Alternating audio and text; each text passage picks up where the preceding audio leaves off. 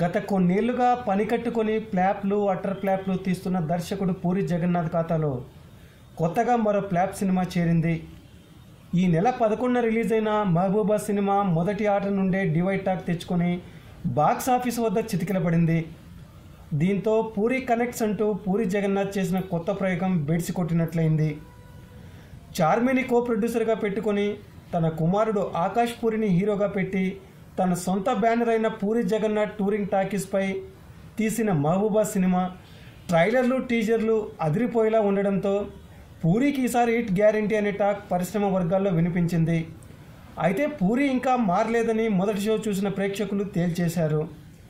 తన తమ్ముడు సాయిరామ్ శంకర్ని ఎలాగూ హీరోగా నిలబెట్టలేకపోయిన పూరి జగన్నాథ్ కనీసం తన కొడుకైన ఆకాష్నైనా హీరోగా ఇండస్ట్రీలో నిలబెట్టాలనే గట్టి పట్టుదలతో ఉన్నాడు. ఆ ప్రయత్నాల్లో భాగంగా తను తెర వెనుక నుండి వేరే వాళ్ళతో తన కొడుకుని హీరోగా పెట్టి ఆ మధ్య ఆంధ్రాపోరి అనే సినిమా తీయించాడు. అయితే ఆ ప్రయత్నం అంతగా ఫలితం ఇవ్వకపోవడంతో ఈసారి డైరెక్ట్గా తనే రంగంలోకి దిగి ద్వితీయ ప్రయత్నం చేశాడు. అయితే అది కూడా కలిసి రాకపోవడంతో పూరి డైలమాల్లో పడినట్లు సమాచారం.